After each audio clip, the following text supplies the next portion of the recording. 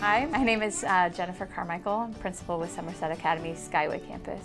Somerset Academy started in Miramar, Florida in 1997 in a small, actually, apartment complex. They wanted to just provide some underprivileged children, you know, a better education, and they found a way to do it. That has worked, and their model and methodology has been replicated not only nationwide, but um, internationally as well. And so it's just continued to grow more and more and more. We have schools in Las Vegas, we have schools in San Antonio. This one's the first in Arizona.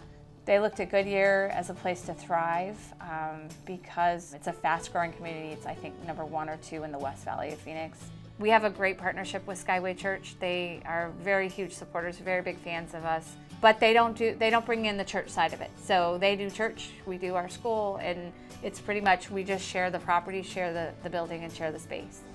Charters are on the rise nationwide um, as it is, and I know charters are on the rise in Arizona, but I don't think this kind of charter has risen to kind of show itself in Arizona for the fact that it's just so small in terms of class sizes. And on top of it, um, the way that the differentiation happens with each child, it's such a personalized learning experience. It's a family-like atmosphere, but like kind of a private school feel for the fact that we, we have uniforms and we, we have high expectations, but in the same token, you know, when a child walks through the door, a family walks through the door, we know the family, we know the child, like the child knows that, like there's a partnership that I think is established as soon as it, you know, we, we know that they've signed up to be with us. We've actually doubled in like the last probably three weeks, a few more, we could say we've tripled in like the last month.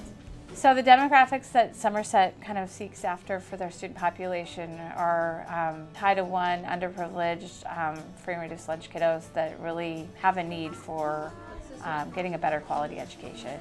We're going to take every child that comes to our door, regardless of what they come from and where they're coming from and everything else, until our charter is full.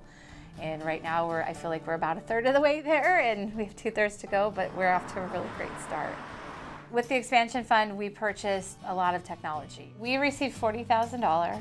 We've purchased about 50 um, Chromebooks and 50 iPads with the thought of we're right now about one-to-one -one ratio and we'd like to continue um, as much one-to-one -one, um, wherever we can. The big goal for this, this campus or my vision of that is just to make sure that it's really a part of this 21st century digital world um, in the classroom and that grant really helps, you know, it's really helping support that goal and that vision people are saying, hey, you know, my, I just enrolled my kid, bring your kid too.